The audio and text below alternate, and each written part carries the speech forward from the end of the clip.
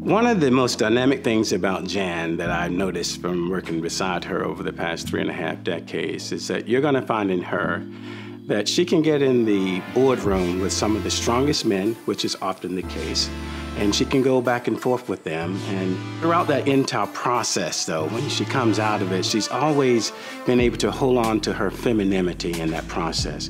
And you don't see that a lot of times. Now, people call me a boss. I ain't a boss. I like to think of myself more as the person who is the enabler to people growing to their own capacities. My name is Janice Bryant Howroyd, and I am the founder and CEO of the Act One Group. You know, so often I'm talked about in a way of first. First African American woman to do this, first female to do that, first black to integrate schools in my hometown of Tarboro, North Carolina. I'm not interested in whether or not I'm a first. I'm interested in my next. How am I building it forward? How am I paying it forward? That's what excites me growing up pre-civil rights, the most professional people I saw would be school teachers and preachers. So I had no idea of what a workforce solutions group could be, but I had the fundamentals of what it needed to be because I grew up in a community absent opportunity for so many people. And growing my business, no, I did not think about it as a child that one day she's going to be the head of a multi-billion dollar workforce solutions group. Not at all. What I did think was that I'd make an impact in how people work and how life works for people. As I grew my business, absolutely there were challenges that I had to face. I've had to work twice as hard to get half as far. That continues in many environments today to be the case. And I'll say this, it's not always just in business that that occurs. It occurs in our personal, our socio and economic environments far too often than it should. You know, one of the things about growing my business, especially now that we are a global organization with over 2,000 employees and over 17,000 clients, is that we've been innovators in our space. We live in a world today, today where data is everything. Even in your organizations, if you're not delivering data, you're not relevant. So the technology is the thing for me. And with technology being so intuitive, and so dynamic, there is no reason why any woman can't build her organization and think billions. I grew up thinking when I became a millionaire, I'd be successful.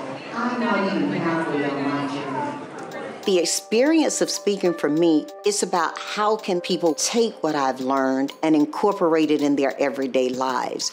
That's what really excites me. People talk about giving back. For me, it's not giving back because I ain't leaving my community. I'm still a part of it, okay? So I'm giving it forward. I do not believe the world was designed for us to have singular success. I believe we can individually fulfill ourselves best when we work for community success. As the mom, the very proud mom of an incredible African American son, I care a lot about the issues that we've seen, particularly over the recent focus on Black Lives Matter and young African American males and police brutality. Here's the thing that I will say we are a nation that is still a very young experiment. That does not excuse us from ill behavior any more than we would excuse a child from ill behavior.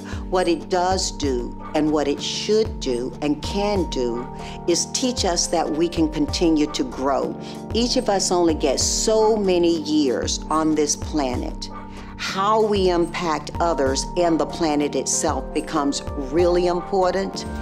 So here's the thing about starting your own company. First of all, you need to understand that no matter who signs your check, you're writing it. So therein and of itself is that your personal brand is a business, whether it's inside of somebody else's incorporation or your own. The second thing is that the most valuable employee in your organization is not you, it's the people who are making that organization work the way you've designed it to operate.